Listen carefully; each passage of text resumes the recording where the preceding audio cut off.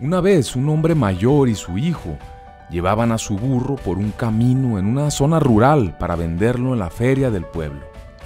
Y de repente se encontraron con unas jóvenes que estaban sacando agua de un pozo y una de las chicas le dijo a la otra, Ve a ese par de tontos caminando en la tierra, todos empolvados, mientras su burro camina plácidamente sin carga. El hombre escuchó lo que decían y subió a su hijo al burro. No habían caminado muy lejos cuando se toparon con tres ancianos. Y uno de ellos dijo, ya ven, esto demuestra lo que les he estado diciendo. Hoy en día los jóvenes no se preocupan por los viejos.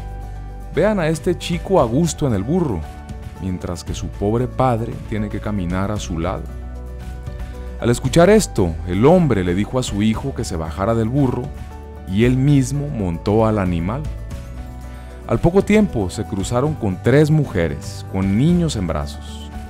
Una de ellas se dirigió al papá y le dijo, ¿cómo puedes dejar que ese pobre chico camine cuando se ve tan cansado y tú cabalgas como un rey? El hombre tomó al niño y lo subió detrás de él en la silla de montar y cabalgaron juntos hacia el pueblo.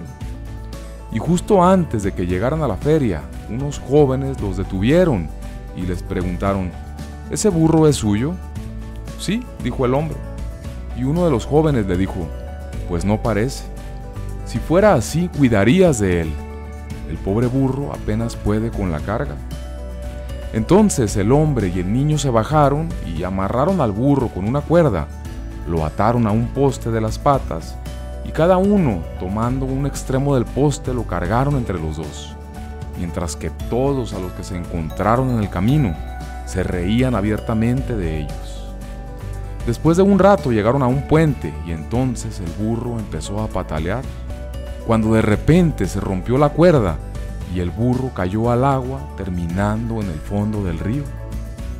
El anciano y su hijo tomaron camino de regreso a casa y nunca llegaron a la feria ni volvieron a ver al burro.